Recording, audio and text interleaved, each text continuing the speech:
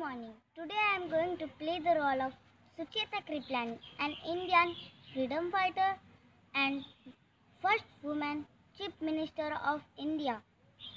I am Mrs. Kripalani and I want to see Gandhiji now at this place. You must allow me to go and see him. You can arrest me when I am on my way out. This much you have to do for me. Thank you. Jai Hind.